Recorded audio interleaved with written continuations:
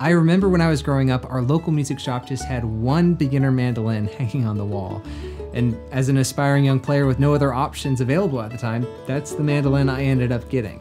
But now things have changed. There are so many entry level options online just a click away. It can be pretty overwhelming for someone trying to find their first mandolin, and without being able to experience these instruments in person, how do you know which one is the best? Well, today we're gonna find out. I recently bought seven of the most popular beginner mandolins available online and turned the studio here into a virtual music shop so that you can try them out and see which one is right for you. We'll be going over the build quality and feel for each in detail. We'll be doing some tone tests and comparisons. And at the end of this video, I'll be ranking them all from worst to best in terms of sound, playability, and affordability. So be sure to stick around. For this comparison, we're just looking at the teardrop shaped A models with F sound holes, as the more intricate F styles usually cost more. And these are pretty much the cheapest models that each of their respective companies make, but there is a wide price range represented here. Here's the lineup.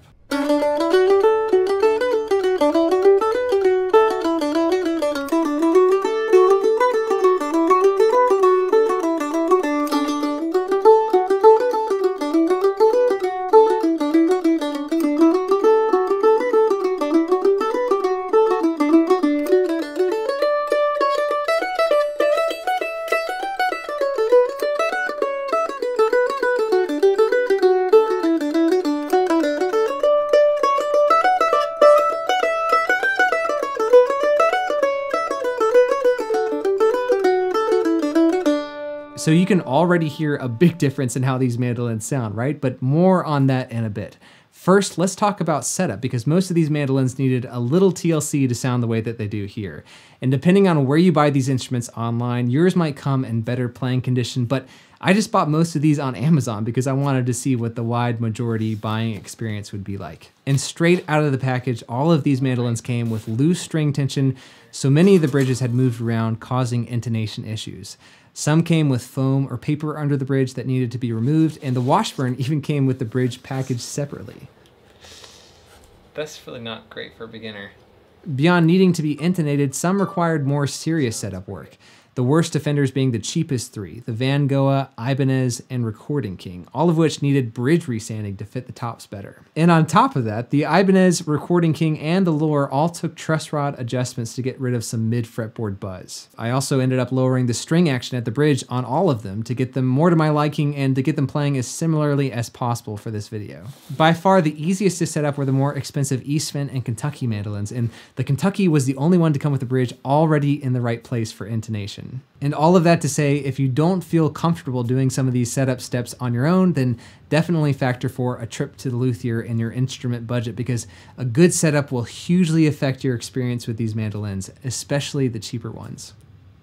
So all of these mandolins are mass produced in factories overseas, and I was curious to see if there would be much of a difference in build quality and feel from one to the other. And surprisingly there was, and even more so, the price tag didn't always reflect that quality. First up, let's check out this Vangoa Basic VMA 10.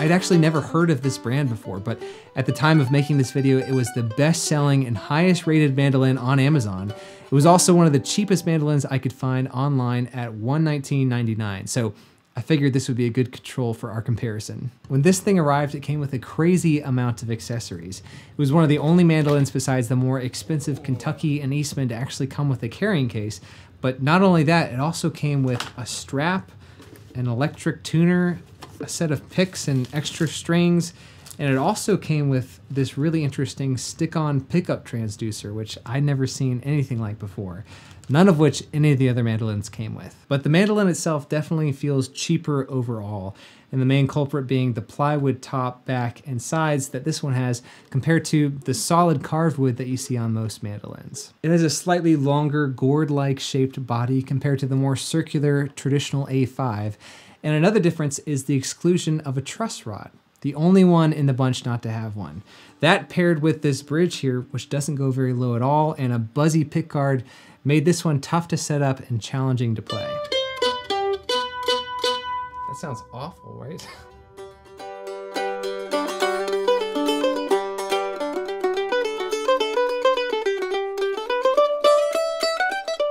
But the biggest build issue for this one is the intonation. Even though I got the bridge in the right place to intonate at the 12th fret, there are still some major tuning issues up and down the fretboard.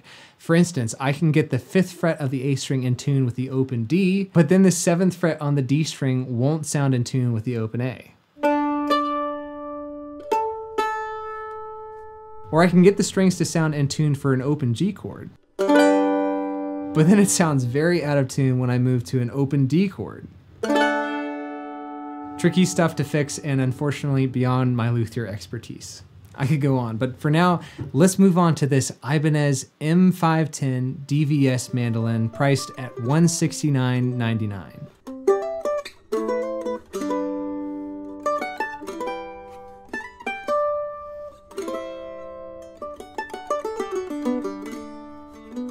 Ibanez is well known for their guitars, but I'd never played one of their mandolins before, and this model here seemed like another popular choice for beginners, so I was curious to see how things felt. And right from the start, you can see some similarities to the Vangoa, with the longer body shape, the cheaper chrome tuners and plastic pickguard, but with a couple improvements, including a slightly better bridge for lower action and a truss rod allowing for a thinner neck and less intonation issues across the fretboard.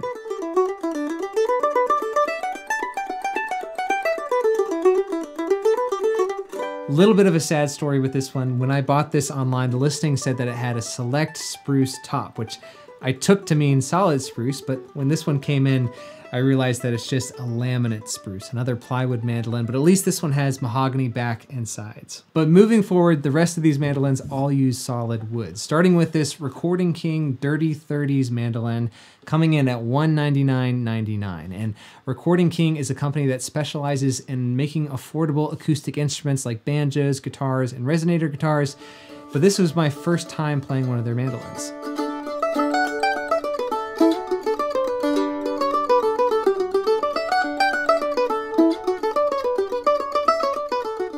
Here we have a solid spruce top, complete with maple back and sides.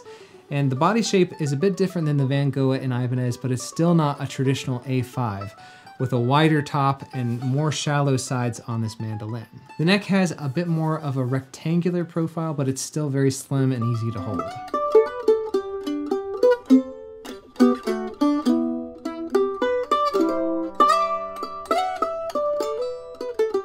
And the appointments are a little bit stripped back with this hazy satin finish and minimal binding, but the working parts here are noticeably improved. These Ivoroid button tuning machines are so smooth compared to those chalky feeling chrome ones, and the bridge is a more standard sturdy build.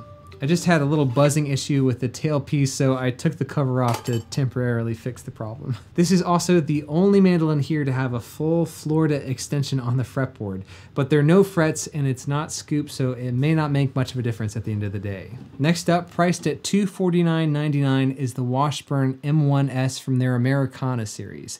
In the late 1800s, the Washburn Company was actually the largest mandolin maker in America, and they're still a popular choice today.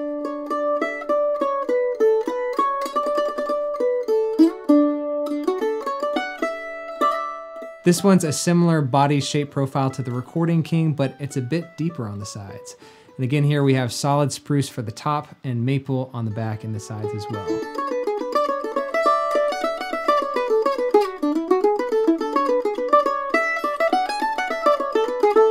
Chrome tuning machines again on this one, but these seem to work better than the ones on the Ibanez and the Vangoa. Otherwise, this one has, I think, the fanciest appointments of them all with this heavy gloss varnish, with the ornate binding around the headstock, the neck, and the body, as well as a fairly quality pick guard. But for some reason, this one also has the thickest neck out of all of them, even with the truss rod being present. The last three mandolins here might be the most similar, all having the more traditional A5 shape that's more common for A models, specifically in bluegrass music. Starting with this Loar LM110 BRB Honey Creek mandolin, coming in at $299.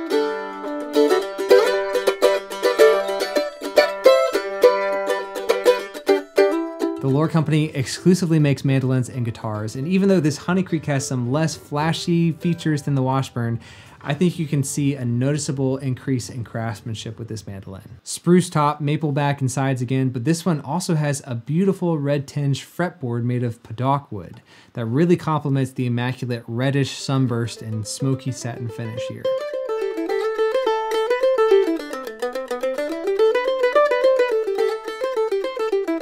The fingerboard on this one is a little bit wider than the rest of the mandolins, but the neck still feels comfortable. And we even have a slight V profile on this one, which is more common in higher end mandolins. Also at the bottom of the neck, we have a more traditional dovetail connection instead of the neck just being bolted on like some of the previous mandolins that we've had here. Also at the top of the neck, we have a bone nut instead of plastic like we've seen so far. On to the Kentucky, which is owned by the parent company Saga Musical Instruments. This is the KM150, and I found this new online for $529.99. Kentucky also has a very slightly cheaper model called the KM140, which looks almost identical to this one here, the only difference being the use of laminate back and sides instead of solid maple like this one has. But for less than $100 more, I opted for the KM150 because this all solid wood mandolin is often held up as the gold standard for tone in the beginner mandolin market.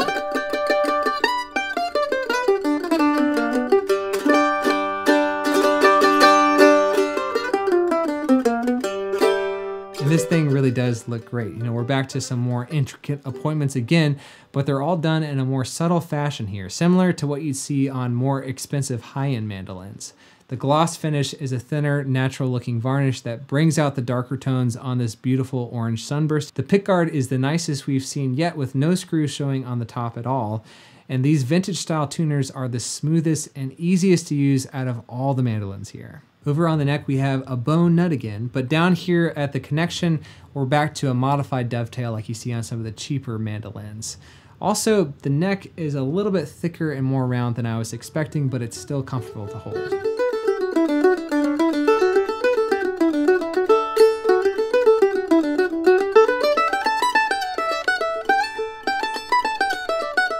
And to top it off, this one also comes with a very well padded faux leather gig bag for carrying. Lastly, we have this Eastman MD305, which is the most expensive of the bunch, coming in at $619. But in my experience, Eastman seems to be the most common choice for beginner mandolinists in the bluegrass world because Eastman is known for their vintage style, tone, and construction.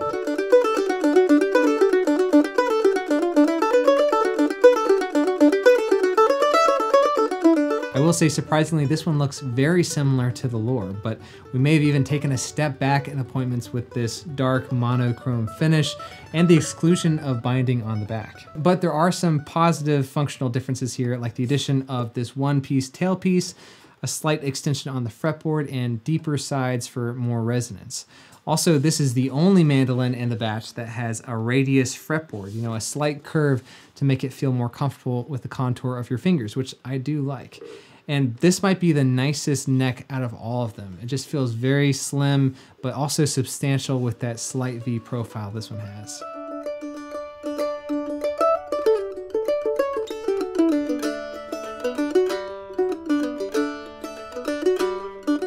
Course, this is all solid wood again. We have a spruce top, maple back and sides. We have a bone nut and a dovetail neck connection to boot. This one also came with a black cloth padded gig bag and a certificate of authenticity, which is nice. Well, that is a lot of specs, so let's get on to the fun part now. How does the tone and playability of these mandolins compare, especially in such a wide price range? We're gonna do some tests to find out, but first, here's a word from our sponsor.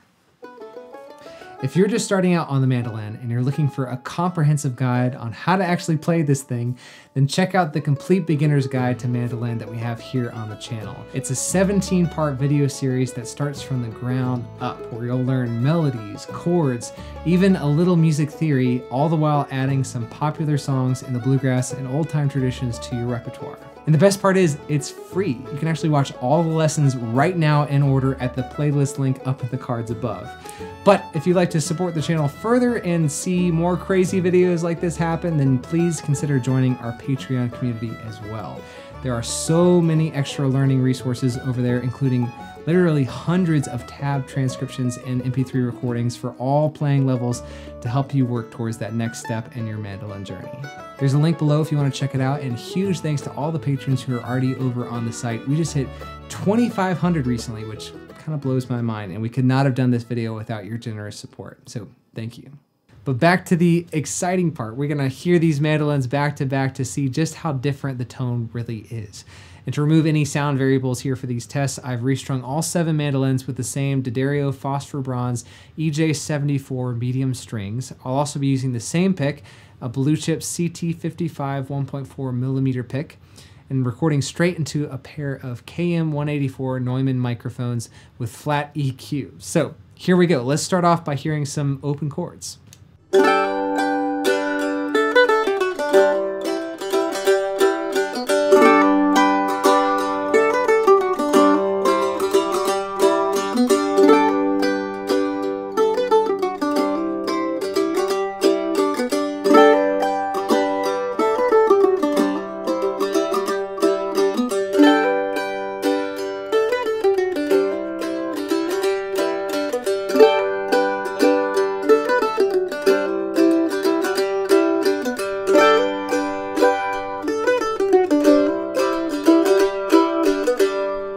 for you bluegrassers out there, you can tell a lot about how a mandolin sounds by the bluegrass chop. Check it out.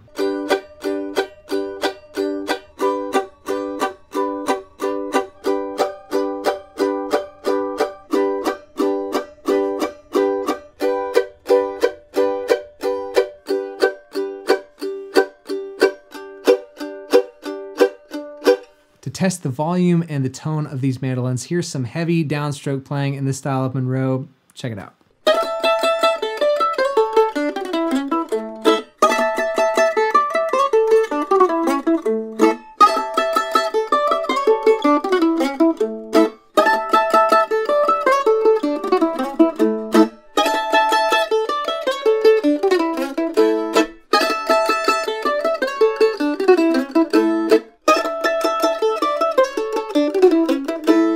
About some double stops now?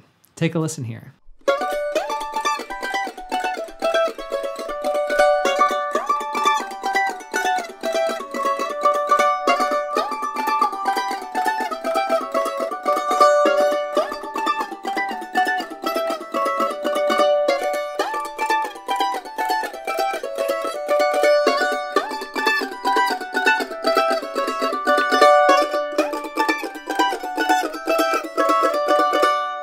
Sometimes these mandolins respond differently up the neck as well, so here's a lick high up there to see what it sounds like.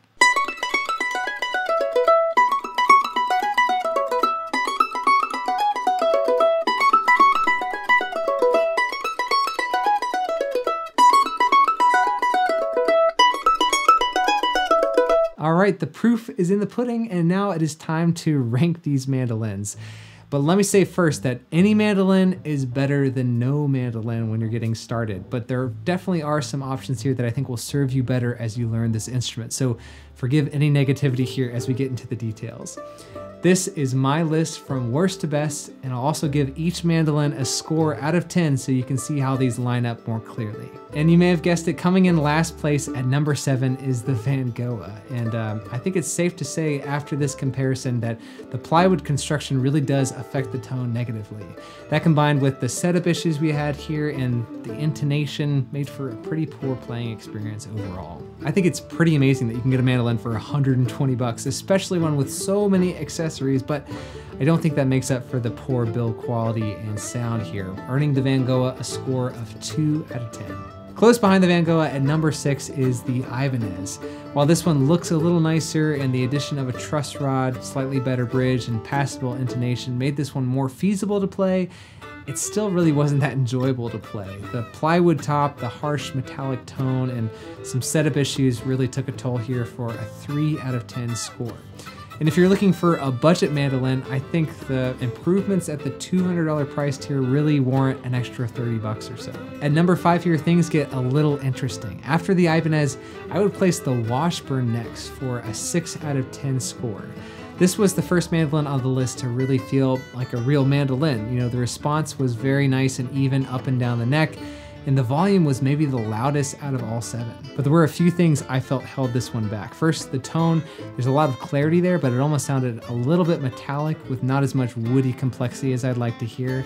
Also, aesthetically, this one's not my favorite with the yellow finish and some of the more gaudy appointments like the unusual headstock, the heavy gloss, and the triple binding. To me, it almost makes the mandolin look a little bit cheaper for some reason. But the real clincher was this heavy neck. It's so thick, I felt like I was holding a baseball bat instead of a mandolin. And for $50 less, I'd probably go with this Recording King, which comes in at number four on my list for a seven out of 10 score. While this one definitely is not the nicest looking mandolin, I found it very easy and enjoyable to play. The tuners are smooth, the neck is nice and slim, and while it's not as loud as the Washburn, I felt like there was more of a thunk behind every note for a more natural, old-timey vintage tone. I actually found myself quite enjoying this mandolin as I was making this video, and uh, you know, there were some setup issues at the beginning, and it may not have the perfect tone for bluegrass if that's a concern for you, but at only $200, I'd have to give this Recording King the Best Budget Mandolin Award. It's a great option that's really cheap if you want to get your feet wet. But on to the last three, and it may be no surprise that the more expensive traditional A5 models made it to the finals, since there is a definite increase in quality here. And coming in third place is the Loar for a 7.5 out of 10 score. You know, I had really high hopes for this one when I unboxed it because it looks and feels amazing, especially for that price tag. And for the most part it is, you know, there's a focused, woody quality to the sound, and it feels like you can really dig in without the mandolin complaining, which makes this a perfect option for a bluegrass beginner. The only thing holding this one back is the volume. For some reason, this one is the quietest out of all these mandolins, making the tone feel a little bit thin and nasally, and the strings a little bit tighter on the right hand, especially on the higher strings but that's a factor that could change over time as this mandolin is played in. And still for 300 bucks, this is a fantastic starter mandolin. And in my books, it gets the best value award out of all of these. Which brings us to our final two mandolins. Drum roll, please. Coming in at number two is the Eastman for a score of 8 out of 10. You know, I was actually pretty surprised to find this one feeling and sounding so similar to the Loar, but costing over twice as much. And I actually think that the Loar looks nicer, but the Eastman does come out on top in terms of playability and sound. The radius fretboard and the neck feel very nice on this one, and the sound is noticeably louder. But also similar to the Loar, I felt like the Eastman tone was a bit nasally and closed over, and the strings tighter than I'd like. Don't get me wrong, this is a great beginner mandolin that outperforms most of the mandolins here, including the Loar, but for what you get, I'm not sure it warrants the dramatic increase in price. And for less money, and in my view, an even better beginner mandolin, I'd recommend the Kentucky KM150 coming in at number one on this list for a 9 out of 10 score. My whole experience with this mandolin has been quality, from the unboxing to the setup to the playing, and this thing looks, sounds, and feels like a mandolin well beyond the beginner price tier. The tone sits between clarity and complexity so well, and I never felt like I was fighting the instrument to get it to do what I wanted it to. My only complaint is the neck being a little bit thicker than I'd like, but otherwise this mandolin ticks all the boxes for me, and I think it's an instrument that would last someone many years, well into the intermediate level, and for a reasonable price, earning this Kentucky the best overall beginner mandolin award in my books at least. And obviously, this is all just my opinion, right? There's so much nuance to acoustic instruments. Certain mandolins are gonna connect with some people more than others. And if you felt differently about these mandolins, I'd love to hear your ranking order in the comments below. And I really do hope this was a helpful resource in weighing up your options for a beginner mandolin, but this is really just the beginning. As you get into higher and higher price tiers for more bespoke handmade mandolins, the quality changes even more dramatically. And if you're curious as to how some of these beginner mandolins hold up against my main Apitius mandolin, an instrument valued at over $10,000, then stick around because that video is coming up next.